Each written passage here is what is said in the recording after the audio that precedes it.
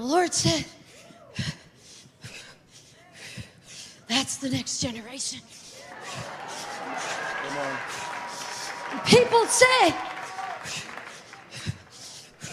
Can any good thing come out of there?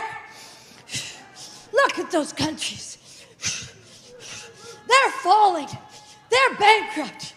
They're immobilized.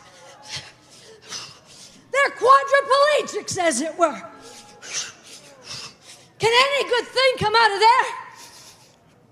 But I tell you, the greatest move of God, the Lord told me when I was 27, would not be our generation, but would be the generation behind us. That they would do signs, they would do wonders, they would change nations, they would change, I tell you, they will change society, and society will not change them. And there is a movement.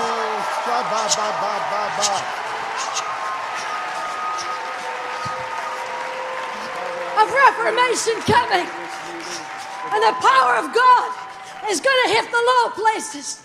Justice movements are going to spring up all over the world and make the low places high.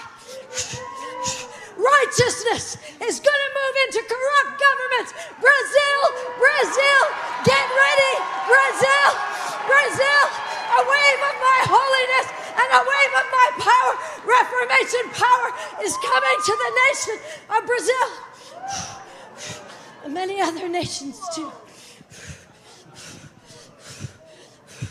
Because the low places will be made high, the high places will be made low for that generation who prepares the way for the coming of the Lord.